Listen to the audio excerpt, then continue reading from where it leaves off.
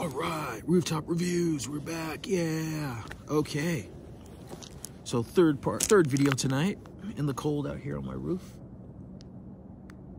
It's funny because if I listen, I can actually hear the bats flying over around the lights. It's interesting. You can hear their wings doing this. You know, when you see flickers, when you see lights and you see flickers of, of well, any of the lights flickering around you, the bats are there eating the bugs flying around. It's interesting, very interesting. Anyway, so rooftop review. Okay, so I was one of those people that uh, when the Oniyuri uh, sword came out, uh, it was a Takakeru uh, Biken, or Takakeru uh, katana, Daikatana, or, excuse me, Takakeru Shinobi Katana, excuse me. And I had to get it, but I was like, you know what? I want to be able to use this in class. So I got the one that was that had a non-sharpened blade, the Aito, right? So that was nice and all. And I was gonna go buy a Shinken, live version, live blade. But then by the time I was able to do that, they stopped making it. So I was like, you know what? What am I gonna do? I said, let me go see if I can find a Shinken that I could purchase at a reasonable price that I could actually use to cut or use to help defend my house. You know what I mean? That kind of thing, right? So I found this one online. Now this wasn't expensive. I'm not even sure how much this one was, but it it, it does what I need. It's full tang, right? Uh, ray skin on it. Um, it's really nice, all right? So this is it. I posted about this a while back. Okay. Okay. So this one, I believe, let me see, let me take a look. So the documents here. I believe this one is made by Ryujin Swords. Um, everyone thinks it's all fancy and all other stuff, but it's, uh, let's see. Oh, here's a documentation for it. You can pause the video to look at that real quick. Ryujin Swords there. Okay. Um, it looks like the, uh, the person who, it's funny, uh, it says the, uh, it was created by Mr. Samsung. I don't know if that's a joke or not, but it's pretty funny. Um, but it has all the dimensions of the sword, series name. So this this blade is called Hatamoto. Um, it's a very nice design. Very nice design, and it does what I need it to do, which is, as uh, Doug Marcaida would say, it will kill.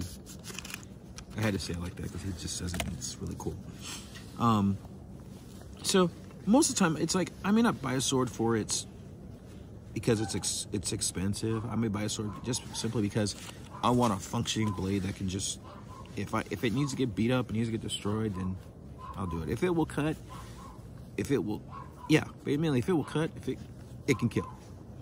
Um, so this is this here. So pull this off here. Okay. Now the Tsuba is an oval design. It's nothing fancy, as you can see here. If I can turn around the other way. You know? It's nothing fancy, just an oval design there. You know? Um, basically looks like a regular Daito or a katana. So you can see here. Alright? You know, like I was talking about. Look at the Menuki. Right there, really nice. I believe, yes, this one, the Tsuka is double pinned, which is great. I love that because you always want to have a backup. Always have a backup, okay? Now, if we open it here, lock it here, as you can see the blade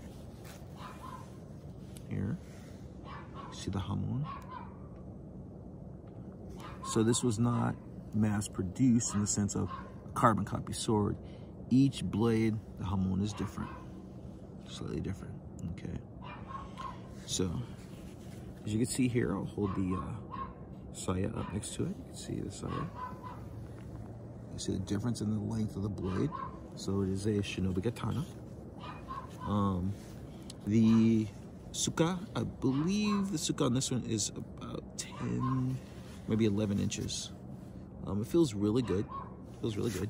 So you think about it in, so talk about how when it comes to shinobi katana, when you, you know, we've had that, that idea you see in movies and stuff, a lot of Western movies, and the blade was straight.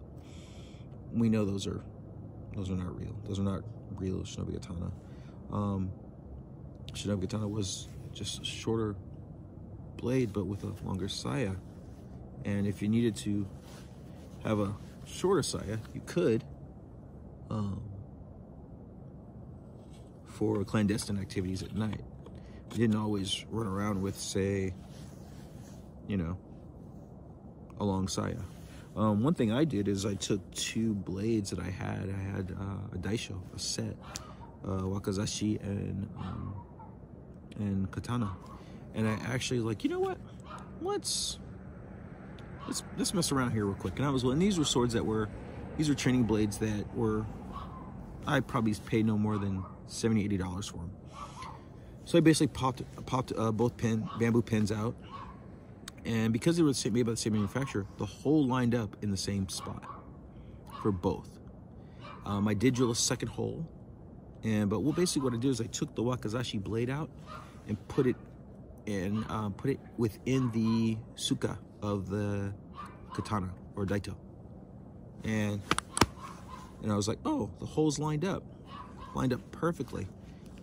Drop the uh, bamboo pin in, put it down, put it on a drill press, drill the second hole, and guess what I used for a pin? I got a bamboo chopstick. Bamboo chopstick.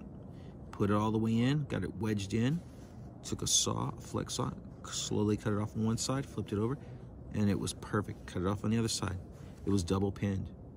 Now I took that same blade with that with that uh, uh, katana handle and put it back in the katana saya and it fit perfectly because they were both made by the same manufacturer and you think about it, that could be an easy way to do that think about if uh, you have samurai that knew ninjutsu you know so you have ninja that were samurai right so because it was a skill set and they say if the samurai is like, you know what, I need a shorter blade for tonight's activities. Hmm. They'll take their wakizashi. They might take it. They might even keep just use the wakizashi as itself, by this, as is, which would still work. Or they might just, like I said, do what I did. Take the, exchange the blades.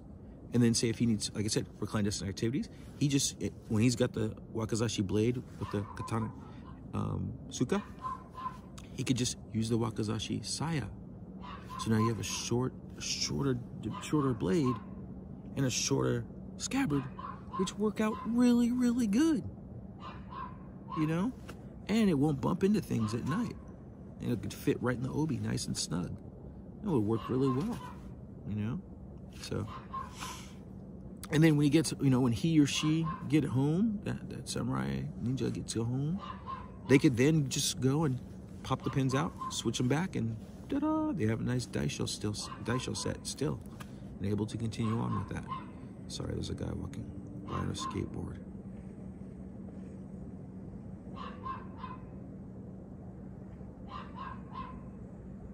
I know, I got this thing for hanging out on rooftops and watching people. I don't, I don't know why I do it. Just curiosity, I guess. All right, it's interesting to see how people react when, or just how people live their lives when they don't know someone's watching them from up high. It's kind of funny. Anyway, back to this. So I, I believe I paid maybe no more than 200 for this. Um, it's really nice for what it's, you know, what it's capable of doing. It's, it, it, it would get the job done. Like I said, it's really nice. So, Ryujin Swords. Okay, I believe I got this at uh, TrueSwords.com. I believe that's where I, I purchased this one from. So if you get a chance, uh, Ryujin Swords. Okay, and so this is a Shinobi Katana made by them. Okay, so just want to say thank you. Have a good night. Take care.